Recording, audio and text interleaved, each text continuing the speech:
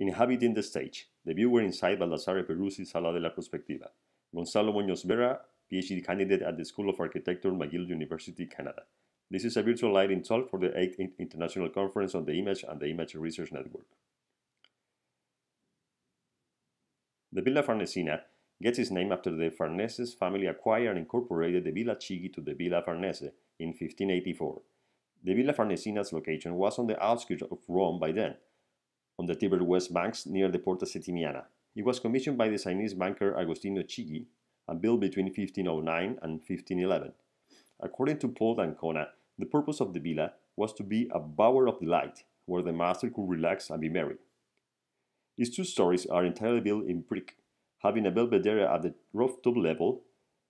The villa also has a U-shaped configuration in plan, with two main facades, one facing, one facing north and containing a loggia, and another one facing south towards the Villa Farnese's gardens. It's in here where the Sala della Prospettiva sits. Most of the gardens of Agostino Chigi also occupy the plot between the Villa Farnesina and the Tiber, in contrast to the neighbor's villa location, which directly sits on the riverbank. Baldassare Peruzzi, the commissioned architect of the Villa Farnesina, was birthed as an architect and artist because of his education in Siena. According to Paul d'Ancona, Peruzzi was a student of Francisco di Giorgio, who was in Siena by the time Peruzzi was trained as an architect. As for his artistry knowledge, Cynthia Stollhans mentions that Bernardino Pinturicchio was for Peruzzi of, of significant influence because of his popularity as a painter during Peruzzi's education, who had many first-hand opportunities to study the master's works as a student in Siena. Therefore, Peruzzi acquired a privileged artistic background which came from the influence of architecture and in-progress architectural representation learned from Di Giorgio and the fresco technique mastery from Pinturicchio. Both inspiration had a remarkable outcome in the Villas Farnesina once Peruzzi settled himself at Rome.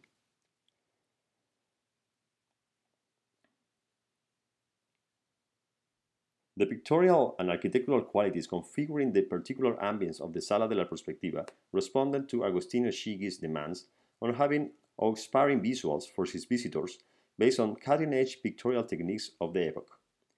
Whoever entered was able to get the impression of a de deistic embodiment through the illusion of rooming inside a Roman temple over a mountain top. On the walls of the Sala, the Roman temple's colonnades were also placed, matching the real dimensions of this room's interior with those of the imaginary temple. Besides, other architectural features on the walls of the sala take a decisive stand by being somewhat integrated into the quadratura composition.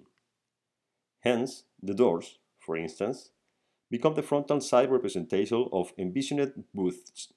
The windows, in turn, represent no more an opening to the exterior, but instead they open to an entirely disconnected plane. As for the walls, they are pictorially materialized from solid partitions to illusionistic thresholds towards a painted loggia around this fictional temple.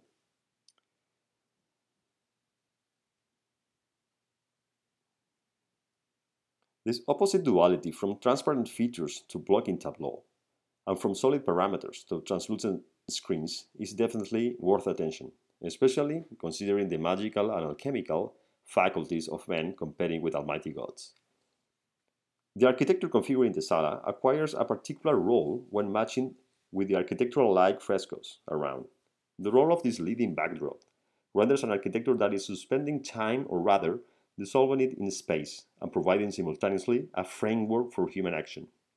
Even though this was not the exclusive case of this room, it was only here where the immersive capacity reached its peak. The interaction of the viewers allows the emergence of this first impression in front of the illusionistic stage. This, conditions, this condition remarkably embeds in the sala through Peruzzi's ability to project three-dimensional space using the art of, of perspective. On the one hand, a close dialogue between painting and viewer results through the familiarity of this latter with foreshortened spaces and architecture, this familiarity is wholly based and accepted on the appearances of the portrayed architecture on the Sala's frescoes, even when the virtual image of this Olympian temple is fictional, On the other hand, a distance between perspectiva naturalis and perspectiva artificialis increasingly emerges, resulting in a detachment of the architectural project from the real world. Thank you very much.